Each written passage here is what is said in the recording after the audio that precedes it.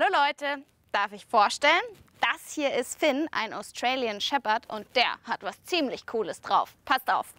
Finn, wie viel ist 2 plus 2?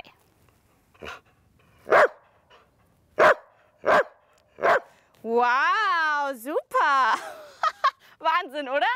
Habt ihr schon mal einen Hund gesehen, der rechnen kann? Ich zeig's euch nochmal. Finn, wie viel ist 1 plus 2?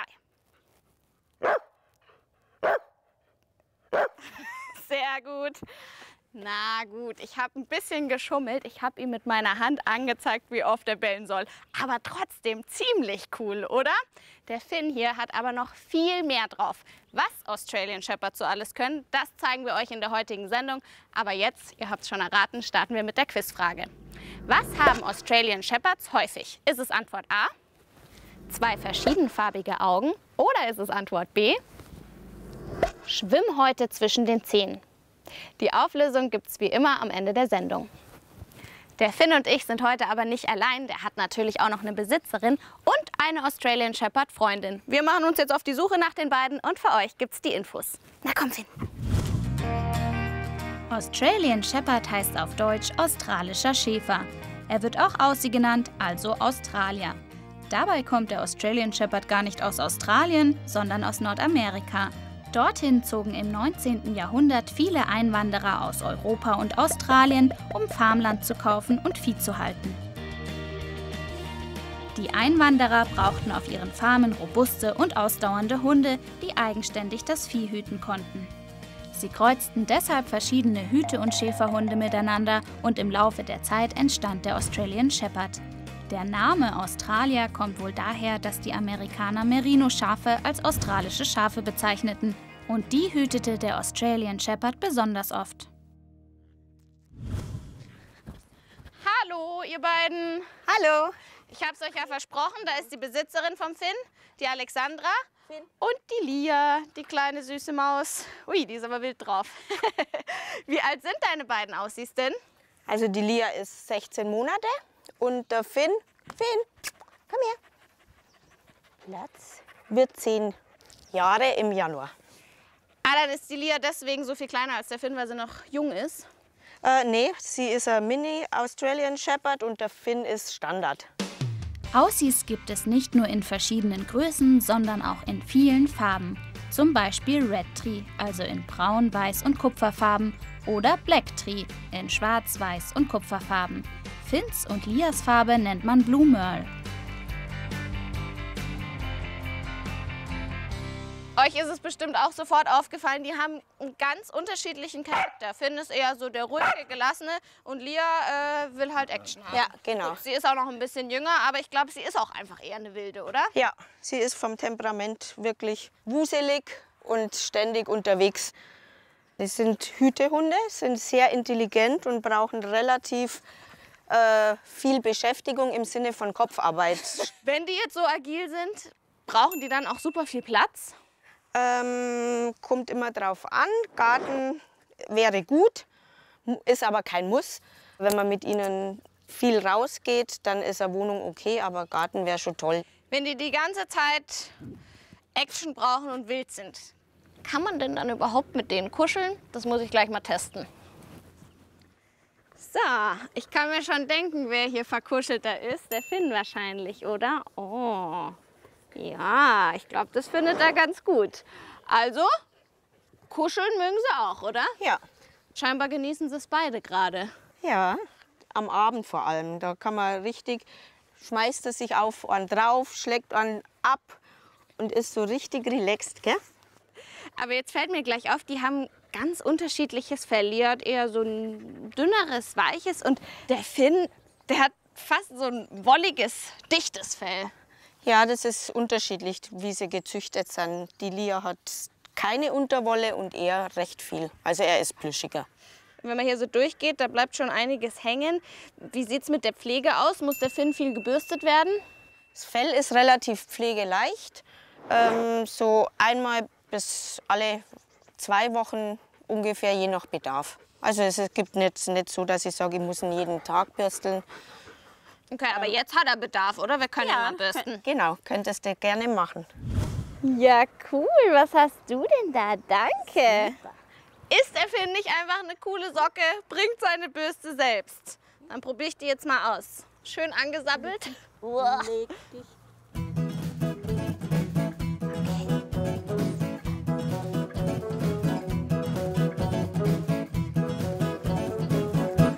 Du hast vorhin gesagt, man muss mit denen arbeiten. Da hast du jetzt wahrscheinlich nicht Bürsten und Kuscheln gemeint, oder?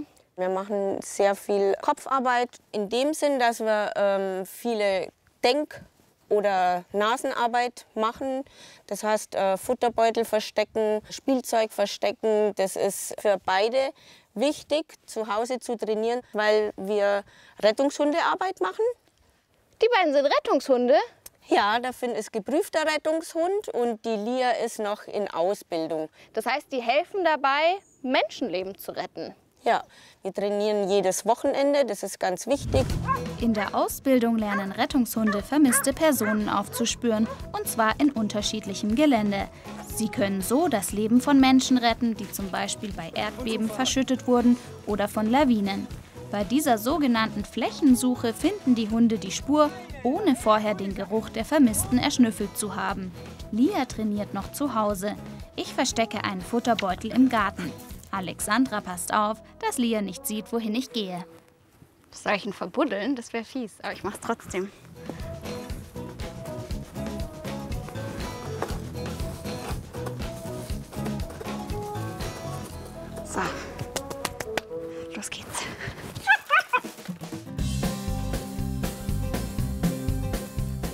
Schon nach ein paar Sekunden findet das Energiebündel Lia den Beutel.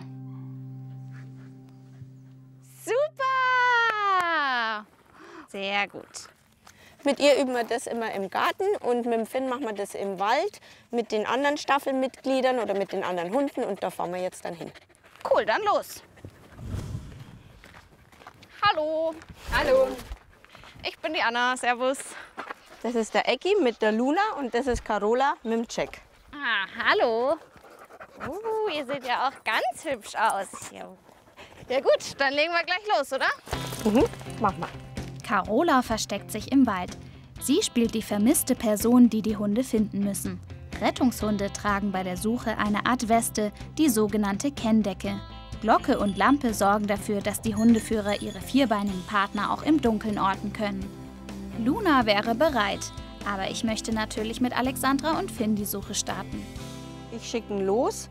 Der Finn äh, sucht aber selbstständig, verbellt an dieser Person und dann komme ich zu der Person hin. Das heißt, wir müssen dann den Finn suchen, nach unserem Gehör. Genau, und im Training ist es halt so, dass er einen Futterbeutel zugeschmissen bekommt und er zu mir kommt und ich ihn belohne dafür. Alles klar. Dann legen wir los, weil die Carola hat sich schon versteckt. Wir wollen sie ja nicht so lange warten lassen. Ja, mach mal.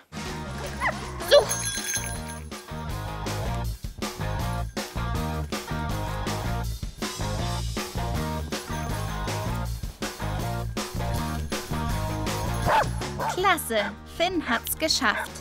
Er bellt oder verbellt, wie man sagt, damit wir wissen, wo er ist. Jetzt bekommt Finn den Futterbeutel und Alexandra belohnt ihn. Prima. Und dann, wenn ich fertig bin, kommt die Kenndecke ab, dass er weiß, okay, mein Job ist erledigt. Und dann spielen wir mit dem anderen Futterbeutel nochmal. Schau mal. Wow. Kannst du auch zergeln ein bisschen und dann einfach gewinnen lassen. Super gemacht, Finn. Super. Also das war echt mega toll. Ich bin froh, dass es Rettungshunde wie einen Finn gibt, um dabei zu helfen, vermisste Personen zu finden. Was macht denn einen guten Rettungshund aus? Was muss der drauf haben? Der muss entweder verfressen sein oder gerne spielen. Also er muss einfach Lust darauf haben zu arbeiten. Richtig, genau. Weil das ist seine Belohnung eben. Entweder das Essen oder das Spielen. Man muss ja jetzt keine Rettungshundeausbildung machen, wenn man einen Australian Shepherd hat. Was man allerdings schon braucht, ist so eine Grundausstattung wie Leine, Halsband, Futternapf, Körbchen, solche Sachen. Was kostet das ungefähr?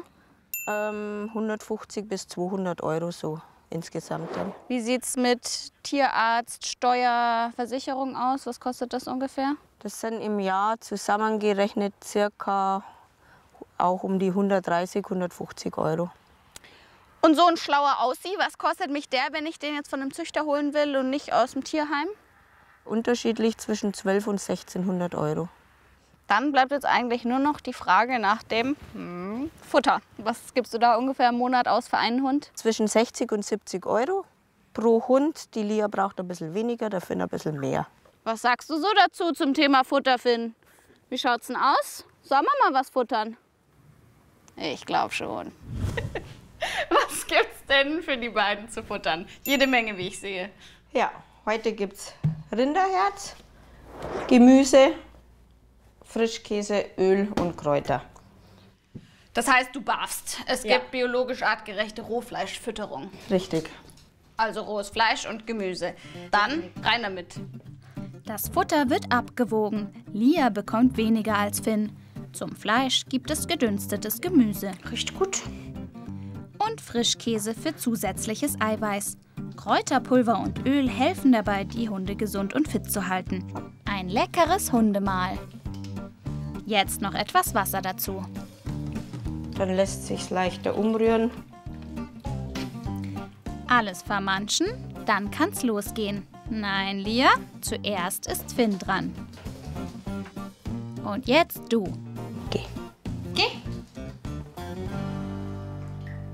Dann dürfen die zwei sich jetzt ein bisschen schmecken lassen und für euch gibt es nochmal alle Infos zu den Australian Shepherds.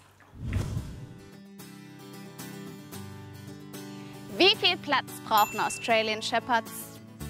Ein Haus mit Garten ist ideal. Bekommen die Aussies genug Auslauf, geht eine Wohnung auch in Ordnung. Kuscheln Australian Shepherds gern? Oh nee, nicht schlecken. Auch wenn sie oft sehr aktiv sind, stehen die Hunde voll auf Kuscheln. Wie pflegt und hält man Australian Shepherds? Je nach Fellart müssen Aussies regelmäßig gebürstet werden. Beschäftigung fürs Köpfchen ist wichtig, ebenso wie Ruhezeiten. Was kosten Australian Shepherds?